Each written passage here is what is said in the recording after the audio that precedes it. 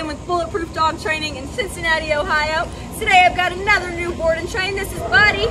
Buddy, is that you? Oh yeah, woohoo! Buddy is six months old. He's a mini doodle. He's a little fluff ball, huh? Are you a little fluff ball? He's here because, again, basic puppy problems. He likes to pull on the leash. He likes to jump. He likes to puppy nip. All the good puppy behavior. So we're going to go ahead and see what he knows. Buddy, can you come? Hey, buddy, can you come? Oh, good job. You can jump. Yeah, you can. Can you sit? Oh, good. Oh, okay. Hey, can you down? Buddy, can you down? Can you lay down? It looks like you're thinking about it. Yeah. Can you down? Oh, no, that's all right. Let's go for a walk. Come on. Can you go this way? Good job. This way. Oh, nice. Oh, there you go. All right. So as you can see, he kind of knows the sit command. Not really stable. He really knows to jump. But we're going to go ahead and get him started. Check back in 15 days for Buddy's amazing transformation. Oh, yeah.